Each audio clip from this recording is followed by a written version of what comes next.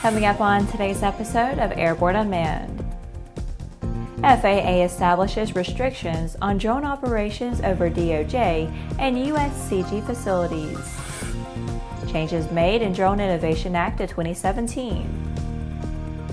And Parrot launches Anafi 4K HDR camera drone.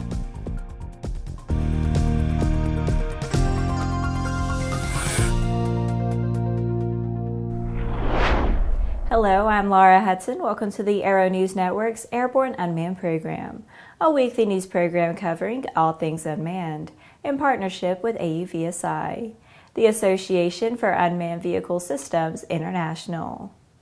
At the request of federal security partners, the FAA has been using its existing authority under Title 14 of the Code Federal Regulations, Section 99.7, Special Security Instructions, to address concerns about drone operations over national security sensitive facilities by establishing temporary unmanned aircraft system specific flight restrictions. Information on the FAA Notice to Airmen, which defines these restrictions and all the currently covered locations, can be found on our website.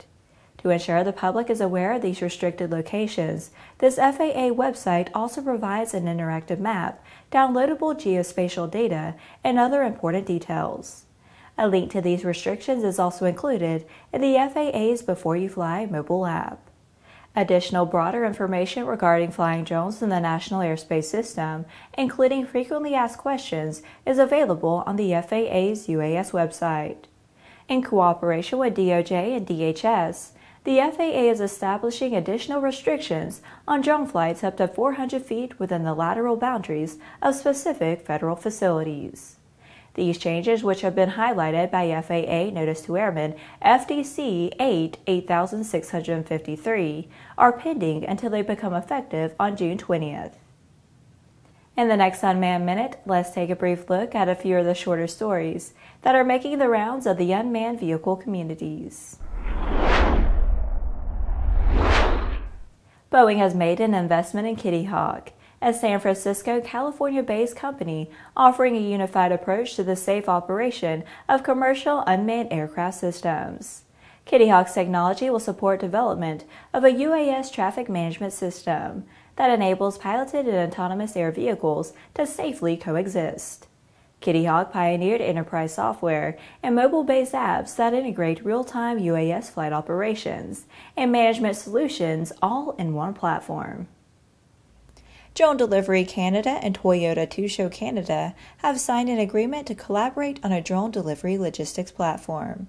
Under the agreement, TTCI will participate in a Drone Delivery Canada's commercial pilot program in Canada as an initial stage. Collectively, the two groups will look to commence flight testing and identify other international markets to deploy DDC's proprietary drone delivery platform as a transportation solution. Axon and DJI have announced an exclusive partnership with the digital evidence management industry to sell DJI drones directly to public safety and law enforcement agencies worldwide through the new Axon Air program.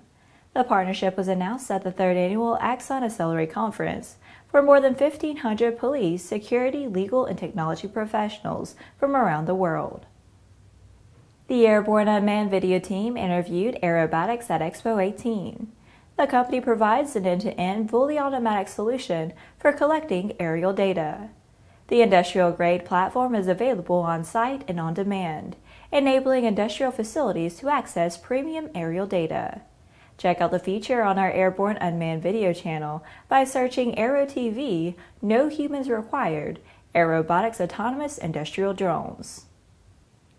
That was our Unmanned Minute. Now back to the rest of the news the sponsor of the Drone Innovation Act of 2017, introduced a year ago in the U.S. House of Representatives, has provided details in the bill summary for the proposed legislation. The bill was introduced by Representative Jason Lewis. The initial bill summary indicated that the bill would direct the DOT to publish a civil unmanned aircraft local operation policy framework in the Federal Register. The language has been expanded to explain that the framework shall provide guidelines to standardize restrictions on the operation of drones, and create an environment that encourages innovation and fosters the rapid integration of drones into the national airspace system. DOT shall establish pilot programs to provide technical assistance to governmental entities for regulating the operation of drones. DOT shall not authorize the operation of drones in local airspace above property where there is a reasonable expectation of privacy without the property owner's permission. The bill specifies that no later than six months after the date of the enactment of this Act, the Secretary of Transportation shall, after consultation with the state, local, and tribal officials and other appropriate stakeholders, publish a civil unmanned aircraft local operational policy framework in the Federal Register. The bill has not yet been scheduled for consideration in the U.S. House. Parrot has announced Anafi, a diminutive foldable drone. Its four arms fold and unfold in less than three seconds. The Parrot Skycontroller 3 remote controller unfolds in one second and automatically connects to Anafi. Via carbon fiber hollow glass microbead construction, Anafi weighs in at only 11.2 ounces. Anafi uses a USB-C charging system. Its 4K HDR camera is equipped with a 21 megapixel sensor and a 3-axis stabilization system with 180 degrees vertically rotating camera and a lossless zoom up to 2.8 times. Flight times of 25 minutes are possible using a smart battery. Anafi's camera is mounted on a gimbal stabilized on three axes, while the stabilized gimbal makes it possible to achieve a vertical tilt of negative 90 degrees to 90 degrees.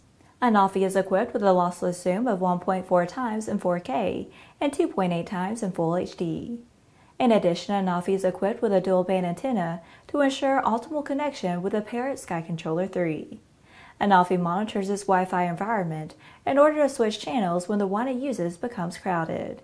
This boosts optimal spectrum utilization performance and allows Anafi to fly up to 2.48 miles. Anafi will be in stores beginning July 1, 2018, at a price of $699. Well, that's our program for this week. In addition to this program, our daily Airborne Unlimited episodes covering the entire aviation and aerospace world are streamed on Monday, Wednesday, and Friday. Don't forget to subscribe, like, and tweet us. Get comprehensive, real time, 24 7 coverage of the latest aviation and aerospace stories anytime at aero news.net. And more information on the innovative world of all things unmanned at auvsi.org and airborne unmanned.net. We'll see you next week.